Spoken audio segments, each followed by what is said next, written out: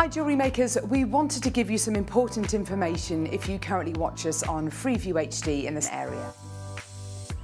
Anyone in this area will lose the Jewellery Maker channel from Freeview.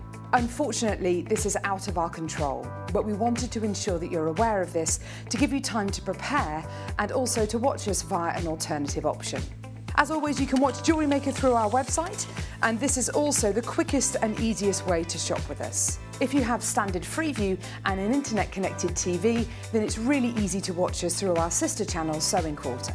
Simply head over to channel number 73 and press the red button on your TV remote. You may need to wait for up to 30 seconds for the red button to activate, then you should see the option to switch over to watch Jewellery Maker. If you don't have standard Freeview, then you can download the Jewellery Maker app onto one of your devices. And again, you'll be able to watch it as normal. You'll just need to go to your App Store and search Jewellery Maker to find the download.